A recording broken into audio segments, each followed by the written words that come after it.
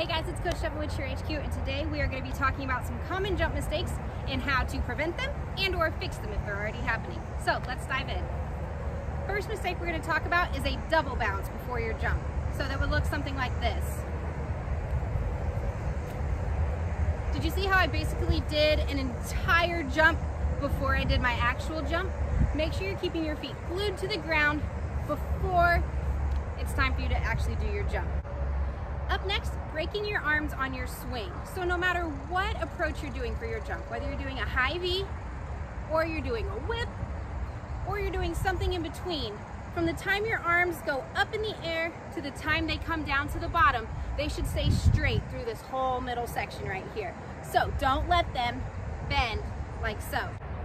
The next mistake is taking the term toe touch just a little bit too literally and actually reaching and trying to touch your toes in the air. So whenever you're doing your toe touch, remember that your arm should be in a T.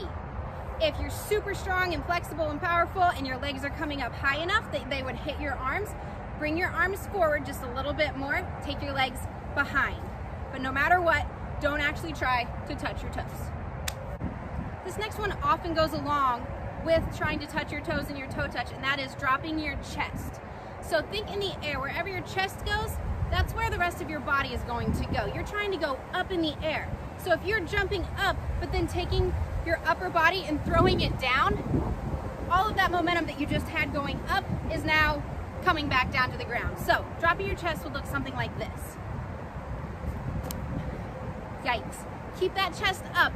Use your abs to help pull your legs up to your chest, like this. This next one was one that I struggled with and I didn't realize I was doing it wrong until I started looking back through all of the action shots that my mom took at my games. I was so excited for these action shots. She got my legs, they were so pretty. And my arms were all over the place.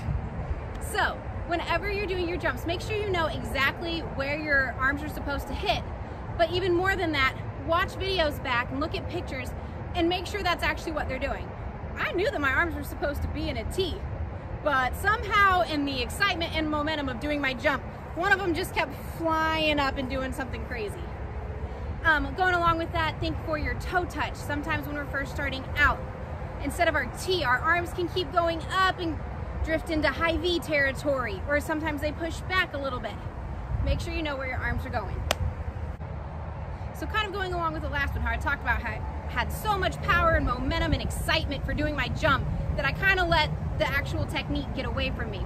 A lot of times I see this happen with that high V if we're doing a high V approach at the very beginning. So five, six, seven, eight on one. That motion is so sharp, so aggressive. We wanna make sure that it's nice and clean, but then it kind of gets away from us and we end up throwing our arms back and sticking our chest out.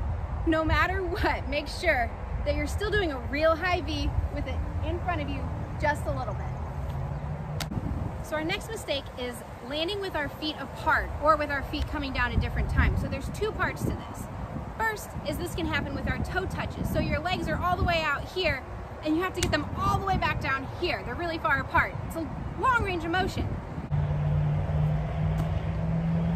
You can do it. I have faith in you. As quickly as you lifted your legs up, snap them back down just as aggressively. The second one, and this is the one that I struggled with, is on your front hurdler. So your front hurdler, one leg is all the way up here. The other foot's just kind of dangling back here in no man's land. So this one foot is four or five feet off the ground, maybe more, depending on how tall you are, how high you can jump. This other one's really, really close. So what I found when I was um, first learning and getting into cheers and trying to perfect my jumps is that I was landing one foot at a time.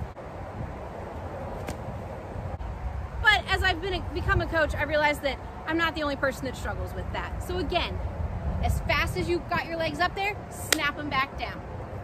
So this next one I've seen quite a few times um, in my years of cheer. I'm not sure that I can actually demonstrate it because it's it's kind of crazy.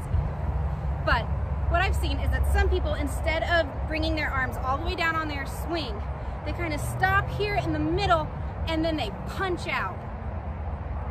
People that can do a jump with your arms doing that, you have my admiration because I don't understand the physics behind it. But make sure that your arms aren't coming out here and punching. all the way down, pull up. Remember, our arms are for momentum. Use this pull to help pull you up in the air. So this next one may seem a little bit silly, but you'd be surprised how many cheerleaders I've seen that actually struggle with this, and that is forgetting to actually jump. I know, it sounds crazy, but hear me out. So a lot of times um, when someone, especially when you're first learning, you're really excited, you wanna hit that pretty motion in the air, you really wanna get that toe touch, get your legs all the way up there, and that's all you can think about. So when that count comes and it's time, you're like, all right, get my legs in the air, get my legs in the air, and it ends up looking something like this. Do you see what's missing there? My legs went straight from the ground to out here, but they never went up.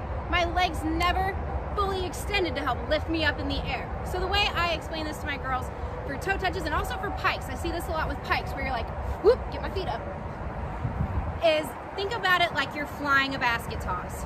So you wanna ride it up before you hit your jump. If you'd go right from here, you're kicking your bases in the face. Even though you're just jumping on the ground, you don't actually have bases. If you think of it that way, it really helps you think about, okay, I gotta go up, don't kick my bases, and then hit. So something more along the lines of this.